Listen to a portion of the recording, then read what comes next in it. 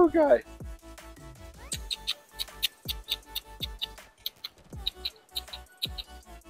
One, one pencil?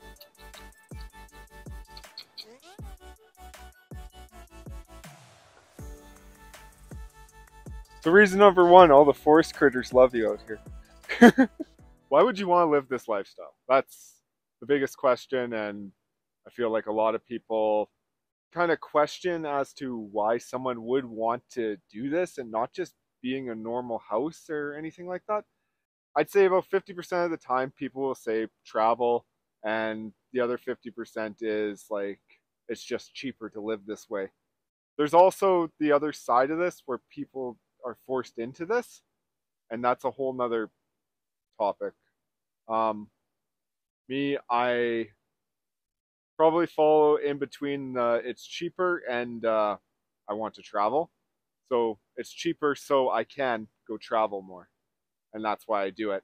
It just makes more sense for me. These little birds here, it's just crazy. so we'll talk about the cheap side of it. It's definitely cheaper. My most expense, my biggest expense that I've noticed has gone up since living in a normal house is probably fuel. But that's also like probably my fault too because I'm traveling more now that I can actually afford to. So my expense on fuel went up, but it still doesn't rival what I was paying for like a mortgage and utilities. My other expensive thing is propane, but that's also my fault. I live somewhere that's gets down to like minus 20 half the year, it seems. So that's kind of on me. I could have went somewhere warmer and then my propane wouldn't have cost so much. So let's talk about the travel aspect. I am currently in Hinton, Alberta right now. I spent the day in Jasper yesterday and uh, yeah, I've been able just to get away for the weekend. Before when I was uh, living by myself in a three bedroom duplex, I was paying, it was about thousand dollars a month in my for my mortgage, and then my utilities were another three hundred, and then various other things for the house like uh, taxes and stuff. That ended up being like another two hundred plus insurance, another hundred. It ended up it was like an extra two thousand dollars just to live in that house, and all I wanted to do was just get away from it. I wanted to get out of town, go to these types of places, and spend my time here. It didn't really make sense to have a house in that case. I'd rather just be living in this thing and have more money to come to places like this. So another great thing is is I'm not tied to a job that pays really well. If I want to, I can still go and try new things and figure out what I want to do for work because the amount of money that I need to survive is very very low compared to what it was when I had a actual place to live. The other thing too is like where I live right now, like you hear like me say like a thousand dollars for a mortgage, that's nothing. Absolutely nothing. But everywhere else in this country that you'd actually want to live at, it would be a lot more money for that. So me to actually be able to try any sort of job out there that would pay enough that I could actually live out there was really hard and it made me feel a lot trapped. And that's why I'm really like this lifestyle. I can go to these places and still be able to survive. Yeah. So the more I talk about this, uh, the more I'm realizing uh, probably your hardest part with it's going to be uh, actually buying the van. If you have the money saved up and everything's good to go, then yeah, that's easy peasy. If not, uh, you're either financing it or you're going to be saving, trying to save as much as you can to get something or buy something really cheap. Um, and there is ways, and I do believe that people can find deals on stuff still. It just takes time and you can find them. Going into this lifestyle, it's probably best not to go into debt because you're going to have a lot more enjoyment without going into debt. So if you can save the money for it, but uh, you know what? You do you, and you do what's ever best for your situation. And uh, if you're watching this video, then you're probably somehow thinking about this or you're fascinated by it. And uh, yeah, I'll just let you know that uh, I went into this uh, without going without any debt, and I plan on keeping it that way. Just because uh, any way that I spend or spend money and uh, or go into debt just so I can have something slightly nicer is just moving the goalpost for me being able to do what I want. This one no one ever talks about, I noticed. Your life kind of gets a bit more exciting when you uh, do this.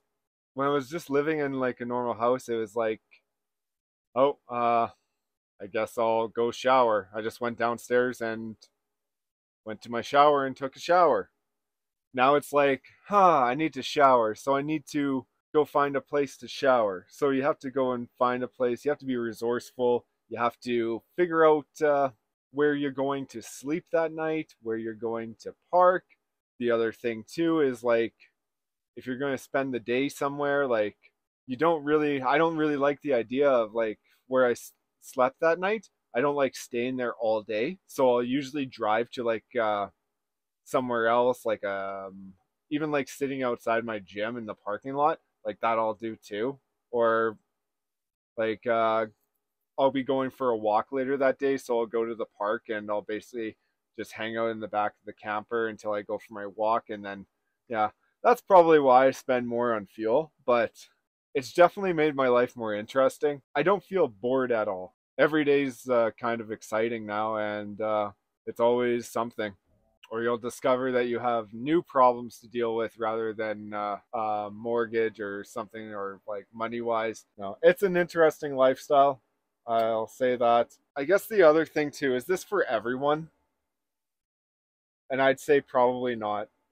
If you're someone that just wants to be at home, you live in like, if you're someone and you live in like a city or something, and you just like the idea of being able to come home, shower, hang out, host uh, friends at your home, and everything like that, then you're probably not going to like this because you're going to try to host friends in your truck camper and it's going to be a little crammed. They're going to be like, what? And even if they want to come over to your truck camper, that's a whole nother thing. So, yeah, this isn't for everyone. This is for someone I'd say is looking to save money, travel, and just, I don't know, just experience uh, stuff that's not the norm. I'm not normal.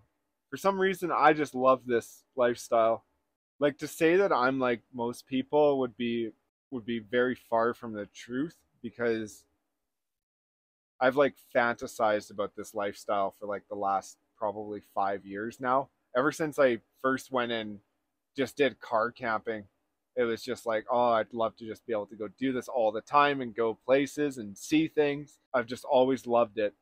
The other thing too is I don't have uh, any kids or anything like that there's days that I do feel a bit weird for like wanting to do this, but at the end of the day, like it's not that weird to do. You're just like we all live the same. We all do the same things every day. It's just I live in a truck camper and I have a few extra chores that I do, but I don't have to pay the bills that people that live in a fixed house do. I have the freedom to drive wherever I want and work wherever I want because my house moves now. It's not fixated to one place. Another good question is is would have I done this lifestyle if I was living somewhere that had everything that I wanted? So it was in the mountains, had a ski resort, and I was paying the same mortgage, the same getting paid the same at the job. Um, honestly, I might have not. I might have actually probably stayed just doing that. But who knows? And that's all in hindsight, right? Like you can't know how you would have felt in that situation.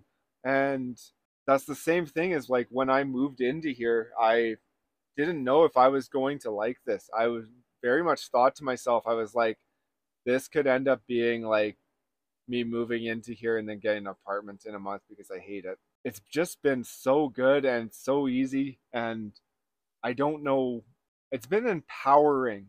I'm finally like being my own self now, and it feels really good. I don't know what else to say in this video. If you're someone that's thinking about doing this lifestyle and you're looking to either save money or you want to save money and go traveling, this is a great way to do it. It's a lot cheaper and and you're going to be able to get to your goals sooner. And I mean, do you really need a house while you're traveling? Like I guess your other option too would be like sublet your apartment and then go do this. And that way if something happened then you could try you could go back, but I I don't know. If you've been thinking about doing this for a long time and you have like a really positive attitude going into it, you're not going to have a bad time. It's it's a lot of planning and a lot of like thinking about everything going on here, but if you're someone that has been like me, like I've been looking into doing this for like the last 5 years, I had an idea that I was going to like it and it's been 4 months. I still have no regrets to doing this. It's been perfectly fine and it feels I honestly couldn't tell you uh, anything that I really missed about the house. There's not really much that I'm missing from my old house. I have everything that basically it had except for a microwave. So there's that. But anyways, you guys, I think that's going to be it for this video. If you're thinking about doing this lifestyle, I'd say watch some more videos, really think about it, write down a pros and cons list, and uh, just plan. I'll catch you guys on the next one. Later.